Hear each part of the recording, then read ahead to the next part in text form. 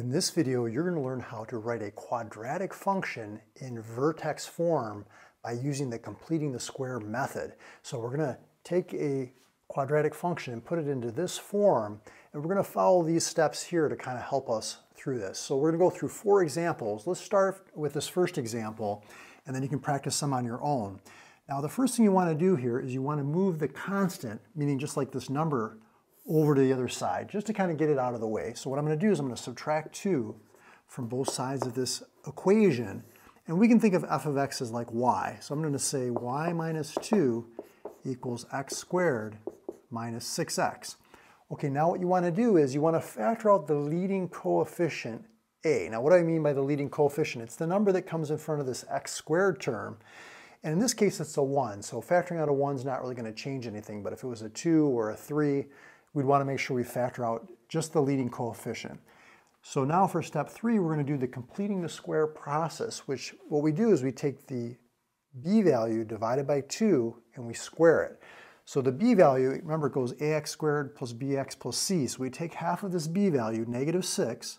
So you can go over here to the side, negative 6 divided by 2 squared. Negative 6 divided by 2 is negative 3. Negative 3 squared is equal to 9.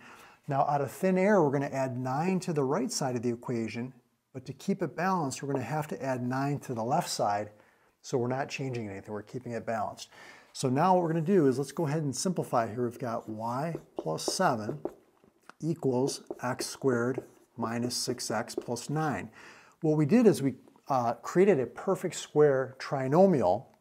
So what we're going to do is now we're going to factor this perfect square trinomial. And I'll give you a little bit of a hint here. It's always going to factor to x and then half of this b value, the quantity squared. So this is negative 6. Half of negative 6 is negative 3. If this was plus 6x, I would write plus 3. And that's how you would factor it. Now, if you want to check your work, you can take x minus 3 times another x minus 3, multiply that out, and you'll see that you get back that original trinomial. So now we're down to y plus 7 equals x minus 3 squared. The last step is you want to get the y value by itself, the, the y variable. So what I'm going to do is I'm going to subtract 7 from both sides of this equation. And now you can see that y is equal to the quantity x minus 3 squared minus 7. So it's in that vertex form right here. And you can see that our vertex is going to be at not negative 3, but the opposite, positive 3 comma, negative 7. That's where the parabola is going to bend. The vertex is at 3, negative 7.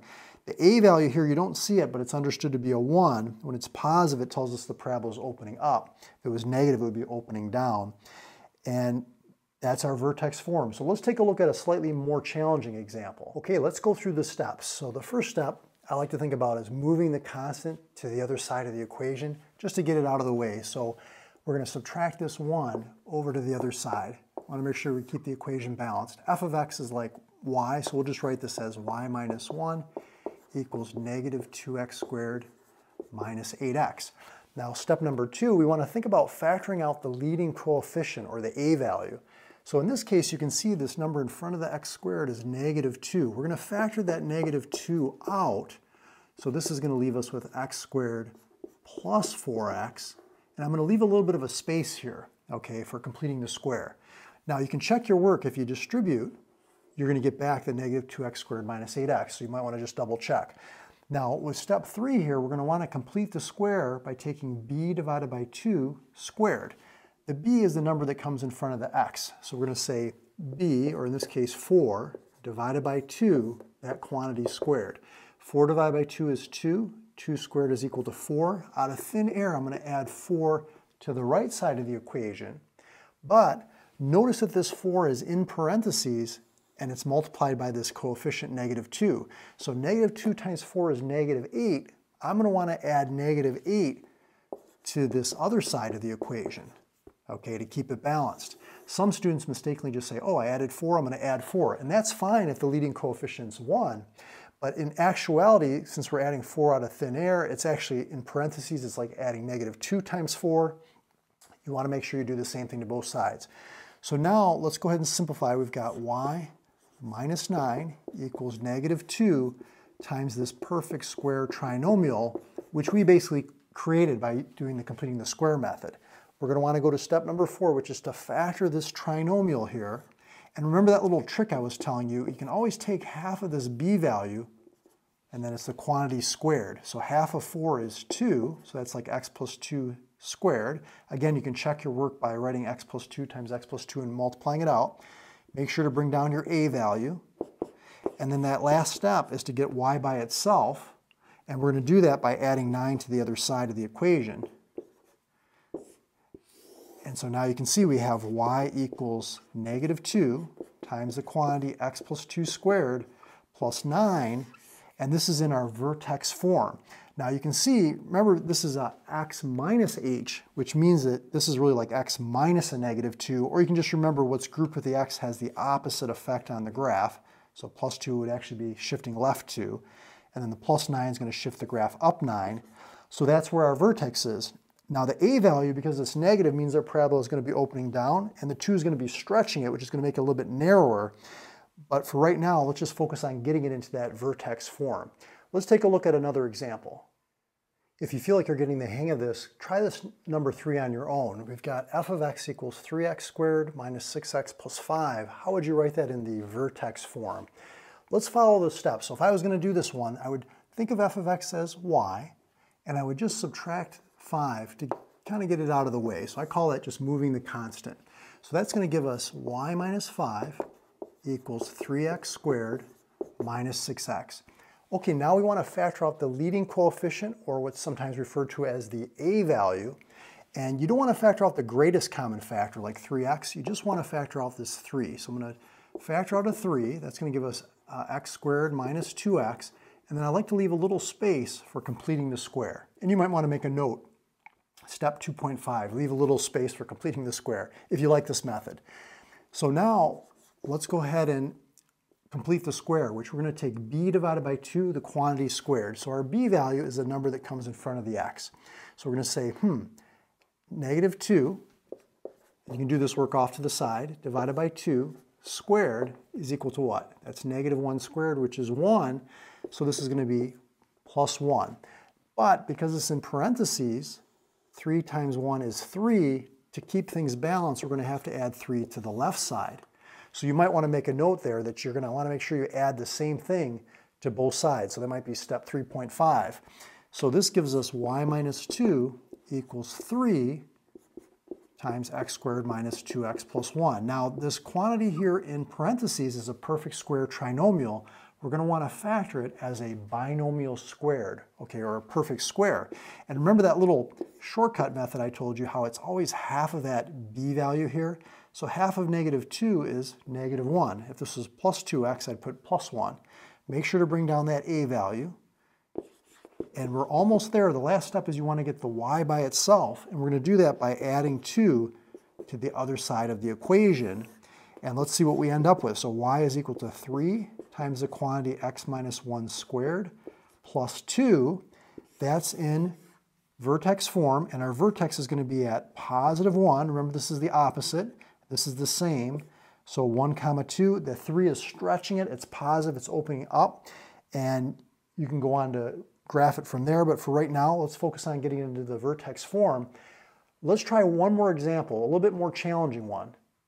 Okay, for number four, we've got f of x equals negative 1 half x squared minus 3x plus 1. How do we put that into the vertex form by completing the square?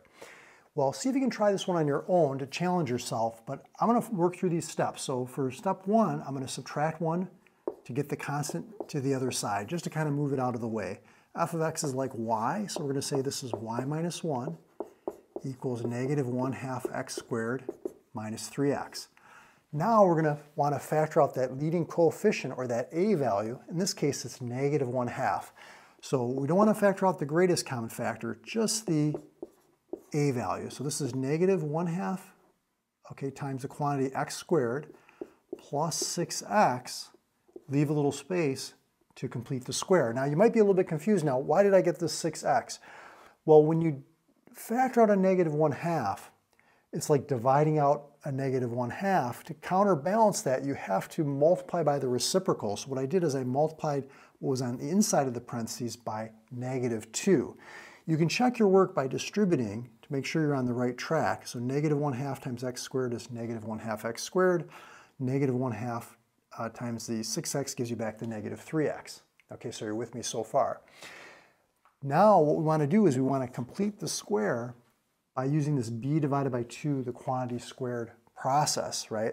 So we're going to take our b value, which is the number in front of the x. We're going to say 6 divided by 2. Let's do that work on the side. 6 divided by 2 squared. Now this b kind of looks like the number 6, but don't get confused. So it's the b value, the number in front of the x, divided by 2 squared. 6 divided by 2 is 3, and 3 squared is equal to 9.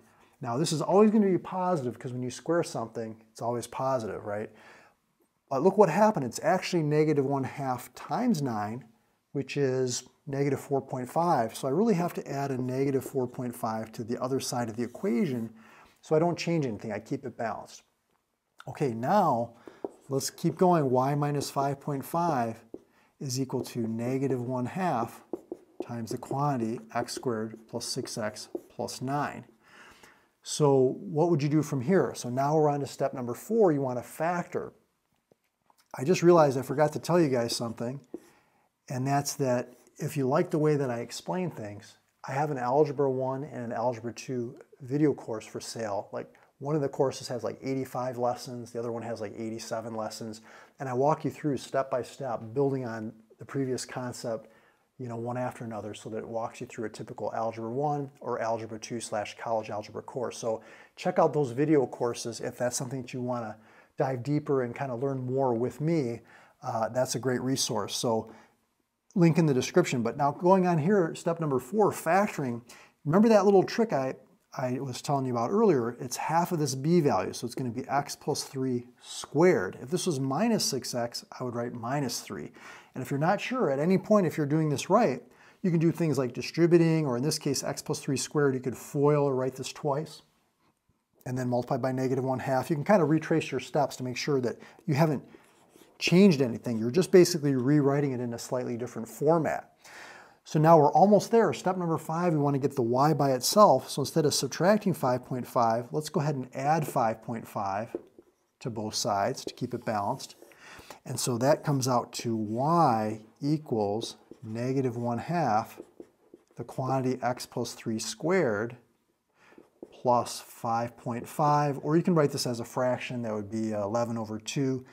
And then that's in our vertex form, so that means our vertex is going to be at where? Negative 3, remember this one's the opposite, positive 5.5, remember this one's the same, and that's your vertex. So great job if you're able to follow these four examples. If you want more practice or you just want to see some more examples, check out a previous video that I did talking about how to write a quadratic function in vertex form by completing the square in that video right there.